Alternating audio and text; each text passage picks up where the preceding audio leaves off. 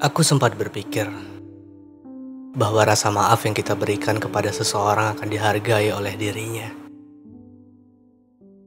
Aku sempat berasumsi bahwa suatu kesempatan yang kita berikan kepada seseorang yang telah melakukan kesalahan akan dijaga dan digunakan sebaik-baiknya. Namun, aku salah. Memang ternyata sesuatu yang telah retak tidak lagi bisa kembali seperti semula. Kadang rasa yang teramat kuat dapat membutakan mata hati seseorang, walau ribuan kesakitan telah ia terima. Namun dada yang lapang tetap ia siapkan untuk seseorang yang ia cintai. Aku, aku berada di posisi demikian, yang entah mengapa seakan tidak peduli tentang kesakitan-kesakitan selanjutnya sementara dirimu entah pura-pura lupa atau sedang berusaha untuk melupakanku.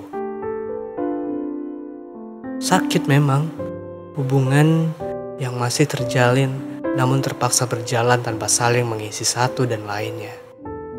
Kau biarkan aku melarut dalam berbagai tanya, sementara mulutmu kau bungkam tanpa satu pun kata. Kita ini apa?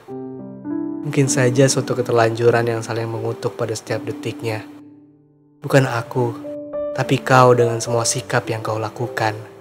Awal yang begitu indah, sementara ujungnya tak pernah sudah.